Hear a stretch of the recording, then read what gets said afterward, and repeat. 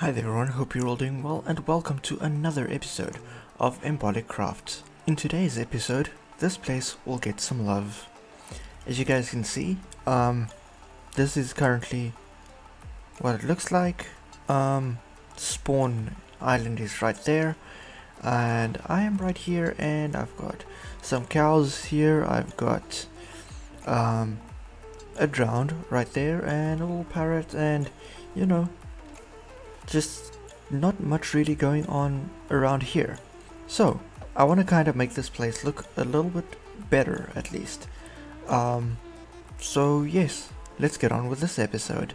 Alright, so one thing that's been bugging me a lot actually is when I come out of my little hole right there, I need to quickly try and maneuver with the boat all the way out there and that is a little bit of a distance to just you know travel if I quickly want to go back to the shopping district or spawn island. So I want to kind of cut out this unnecessary work right here. And that's kind of what inspired the idea of trying to fix this place up a little bit so that it's less of a nightmare, less of a hassle, and also this issue that I've got I've always got drowns or skeletons right here. So as you guys can see, that right there is a big issue um, as well. I mean, I do have my dock here and yeah, I can have a boat go out, but that's a bit of an issue because see, it's a small space to maneuver and do your thing. So I think what I want to do is I want to expand this walkway over to there and kind of take it from there um, maybe build like a little docking station area at that side and yeah have a nice little bridge going across. Alright guys so I've got some supplies. Um, we're going to use some wood. So as you guys can see I've got jungle and I've got oak. So I kind of want to see which is gonna look better um, to cross over to that point and um, yeah, kind of make a nice little walkway. So, without further ado, let's get right into it.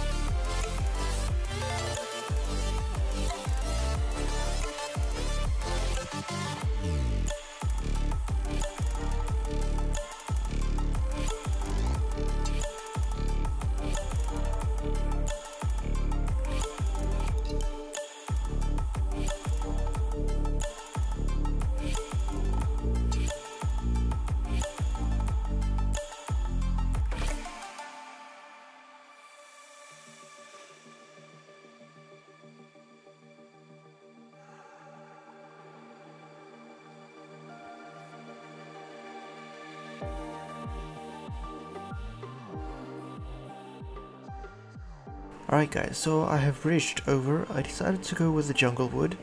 Um, purely because it kinda has similar um, color to the dirt. If you kinda look, you can kinda see that there. Um, so I kinda just went with that because it probably seems a little bit more natural.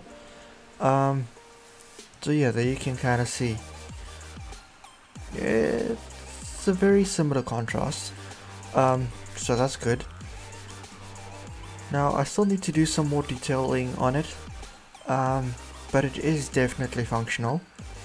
As you guys can see, I now have this area here that I can kind of work with, make my little docking station probably around about here-ish, and yeah, have an entrance and an exit right here no problem whatsoever so yeah I think that is a good idea Alright, so an idea I'm really enjoying is having like these tiki torches um, placed down like every three blocks.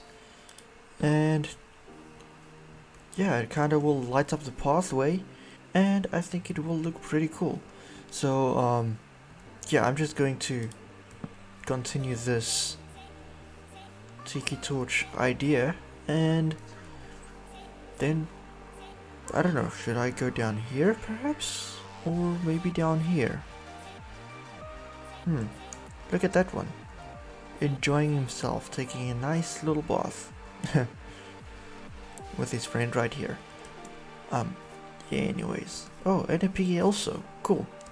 Um, so yeah, I think I'm having some ideas come to mind now though.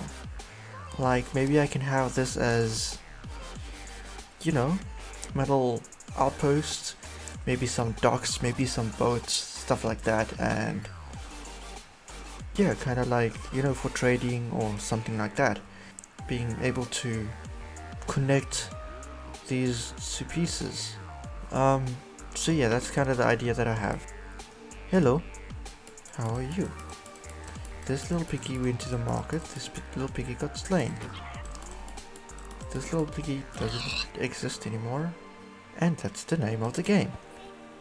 Alright guys, so I just placed the last um, tiki torch right here, and there's mobs outside. It is dark. Actually, it kind of looks cool. Um, but now I'm kind of cornered-ish. Creeper. No, no, no, no, no. No, no, no. Skeleton, skeleton, skeleton. It's not completely mob-proof just yet, but it does kind of look so much cooler. Um, yeah, having some... Oops. Skeleton. Oh, come on.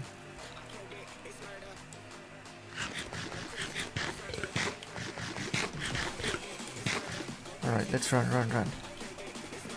Because right now it's... it's not a good choice to be outside.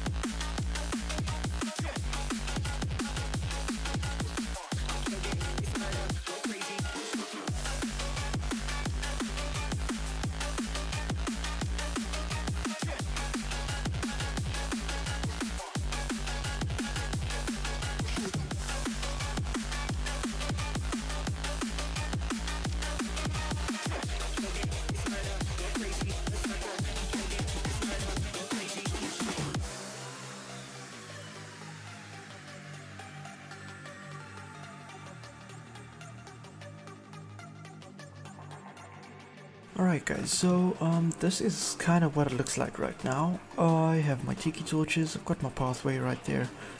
Um, yeah, got this whole bay area, there's like a little dock as well. Yeah, the path goes underneath this tree onto this bridge, just added some more torches there, need to still complete that. And then there it goes. Also worked a little bit on um, little farming area there for my wheat to grow um, which I think is pretty cool. Um, yeah, so this is kind of what it looks like right now after I chopped down some trees and stuff. And it's coming along nicely. I got some more cows as well and got my wheat growing there. Um, I still have my mine um, down there with like my other farms and stuff, but at least starting out here on top a little bit kind of kind of makes it look a little bit more like a living space right here. Um, I don't know, we'll have to see what we will do with the rest of this place, but yeah, this is currently what it looks like, and I think it's pretty cool. Um, yeah, it's quite something at this point in time to kind of work from and you know just have a little farm and all this kind of stuff so I think that is that is really cool um, okay, that was an epic fail. But um, yeah, so Stormy came to my place now the other day and he's like, okay, well, he's gonna take some of the ender that I got and he left me this chest. And there we have an iron pickaxe with unbreaking 3 and efficiency 3 as well. So Stormy, thank you very much for that. Alright, so for those of you who's interested in knowing how I did this farm, um, pretty much all I did was I went and I used a hoe, got a 9x9 space, and then the center block, took that out, put some water in there, and then two blocks above that I just placed a dirt block there with some torches next to it, just so that we can get the area lit up quite nicely. Now this isn't one of the most efficient um, designs out there. I would like to maybe get something like carrots and every second row alternated with one row wheat, one row carrots, one row wheat, one row carrots, one row wheat, one row carrots. And the reason I would like to do that is pretty much because of the ticks, um, the game ticks. What happens is uh, with the random ticks, it decides what needs to happen with that block and stuff like that and that kind of chooses how things need to grow so um, obviously this wheat patch is gonna grow a whole lot slower than it would if I had them just alternating with regards to wheat, carrots, wheat, carrots, wheat, carrots or anything for that matter. Alright guys, so unfortunately that's going to be it for today's episode. I'm happy that we finally got a farm going there and that we have this bridge going over there.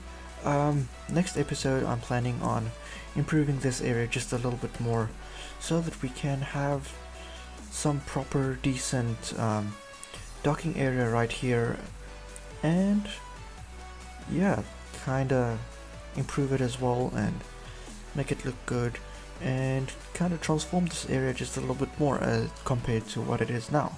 So yeah, thank you very much for watching guys, I hope you guys enjoyed it, and I will see you all in the next episode. Cheers!